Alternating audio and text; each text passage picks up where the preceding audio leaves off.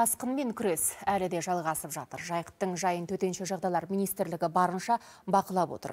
Бөгеттер нығайтылып, су сорылып жатыр. Осы уақытқа дейін су басқан аймақтардағы 41 мыңнан астам қазақстандық үйіне оралды.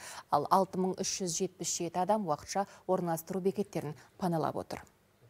Солтүстік Қазақстан, Атырау және Ақтөбе облыстарында 7184 тұрғын үй мен 2844 аула аумағынан судың бағыты бұрылып су сорылды.